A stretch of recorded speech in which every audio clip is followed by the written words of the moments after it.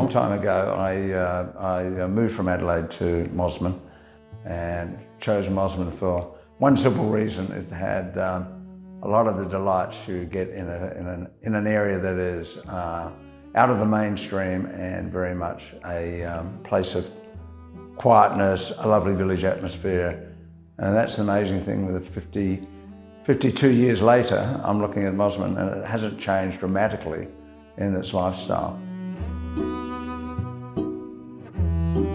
Had a, what you call a early Federation home and uh, collecting art was sort of uh, pretty much driven by the architecture and the, and, and the space to display it. So the idea was what to collect. Well, I came up with this idea that I'd collect paintings of that, of that period of the uh, early 19th century, all by Australian artists, and then bought two or three paintings, and then realised that two or the three of them were of Mosman, and thought, well, well, hold on here, this is, this is an interesting thing. Maybe you should collect paintings of Mosman, and as time goes by, 20 years later, you would have, uh, you could buy one painting a year or one painting every two years.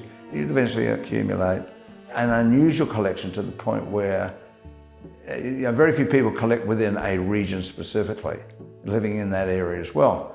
And then you realise all of a sudden that Mosman has changed a lot from the point of view of the early artists that really did cover it very extensively in the late 18, 1800s and the early 1900s. So you could see the village emerging slowly out of the canvases of the artists. So years later, um, we were to sell that house and build a different home, a contemporary home. Suddenly, we had an art collection that would not sit as comfortably in that, where it was uh, uh, more designed for contemporary art. And having uh, got to know the uh, Mosman Gallery well, I came down and had a chat with the director at the time, and we went through this in some detail that maybe this is not just gifting an art collection, but it's giving an art collection that has a meaning to the community and has meaning to them when they come and see it. You could really then teach children a lot more about art if you could relate it to the community in which they live. But then the overriding thing was you'd build a pride about the community. This would be just a very special little window into an area that people could own as theirs. That was the idea behind it. The foundation was a, a, a, a real product of, of working for years with people that were mentoring me in my career, and I was lucky that I did have some pretty influential people. And of those three people, they were, they were all extremely wealthy, uh, and uh, they always had an attitude towards philanthropy. And part of that eye opener for me was I'd never come from a family that had the money to be philanthropic. We never had money to plan constructively to it. And I watched my friends do it and they had the money. And later on in life, I got lucky. And I got the opportunity to start a company. And that company was sold for a considerably uh, large amount of money.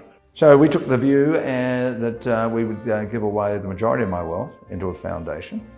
The beautiful thing is my children are all involved in it and even my grandchildren are involved in the giving. And I think that does a lot to change their lives. Like my life got changed by watching other people in philanthropy. So I often say it's, it's difficult uh, giving money away because you've got to have a sense of responsibility about it. We try and give help, we try and assist, we monitor how, how the money's spent to make sure the money's not just frittered away or wasted.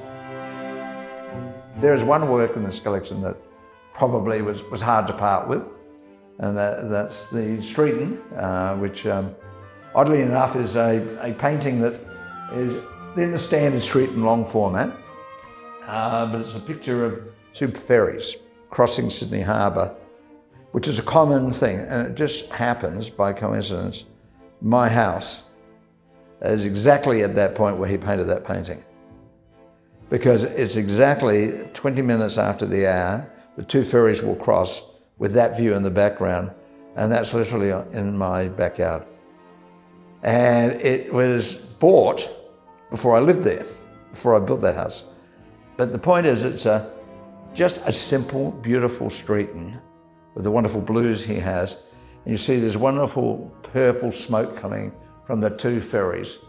But the, the paintings always intrigued me for that. And then I had it at my desk in my new home and I thought, well, it is the centerpiece of this collection and it doesn't belong in my home.